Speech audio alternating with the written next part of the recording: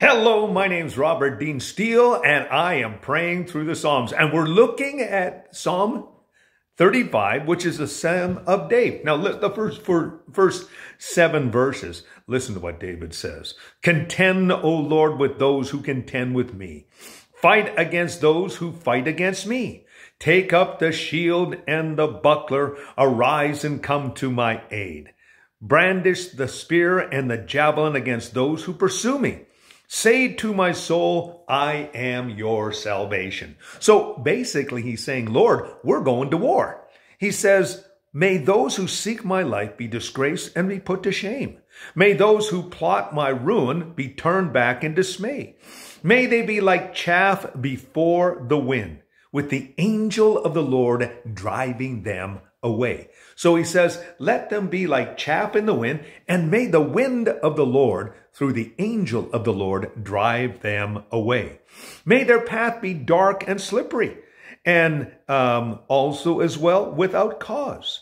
Then he goes on to say the angel of the Lord is pursuing them. So not only is the angel of the Lord um, not driving them away like chaff, but he's actually pursuing them. Since they hid their net for me without cause, and without cause dug a pit for me, may ruin overtake them by surprise, and may they be entangled then, uh, and, and may they fall into the pit that they made themselves, their ruin. So this is David. He's feeling trapped, and he knows that he needs divine assistance. And he also points out the fact that when you plan fail, you plan to uh, destroy others, often it comes back on you. Then my soul will rejoice in the Lord and delight in his salvation. My mind, my will, and my emotions are going to rejoice in the Lord, and I am going to delight in the wonderful salvation that he has given me. My whole being will, will exclaim, Who is like you, O Lord? You rescue the poor from those who are so strong for them. So in this, David reminds us that the Lord is the one who rescues the vulnerable, the poor and needy from those who rob them.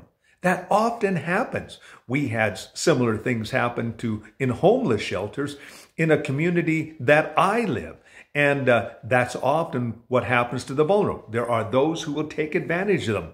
Ruthless witnesses come forward. They question me on things I know nothing about. They repay me evil for good and leave my soul forlorn. Yet, when they are ill, I put on sackcloth and humble myself with fasting. So David is saying, these individuals who come against me, I don't do that. He says, when my prayers return to me unanswered. So he says, I am praying on their behalf, but I'm wondering why they're not being answered. Probably because of the fact that the Lord has judged them.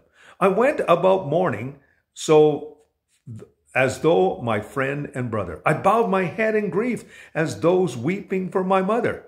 But when I stumbled, they gathered in glee. Attackers gathered against me. When I was unaware, they slandered me without ceasing. So what was happening was he was praying for them, but when he fell, they slandered him, they gathered against him, and they tried to destroy him.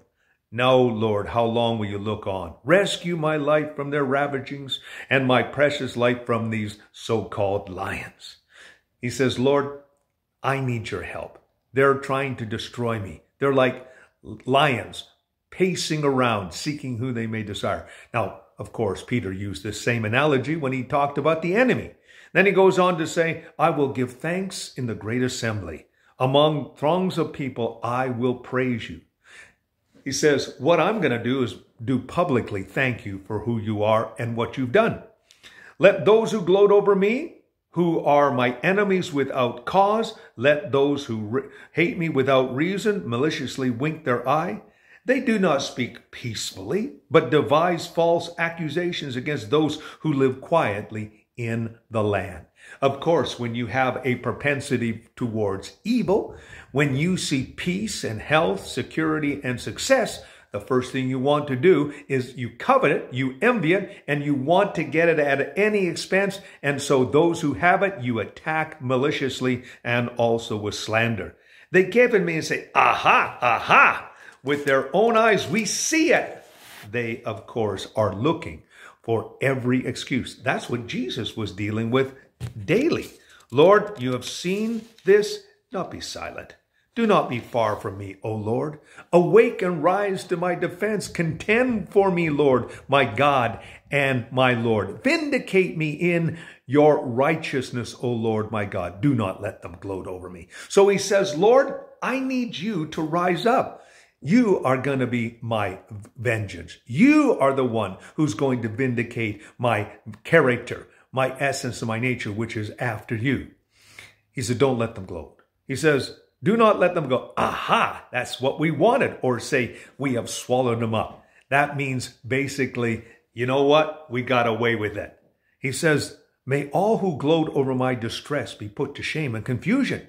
May all who exalt themselves over me be clothed with shame and disgrace. So he says basically the attributes of those who walk errantly or arrogantly are shame, confusion, shame, and disgrace.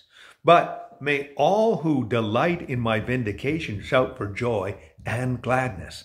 He is giving a wonderful parallel for those who are destructive and those who are constructive. Then he goes on to say also as well, may they say, the Lord is exalted, he who delights in the well-being of your servant.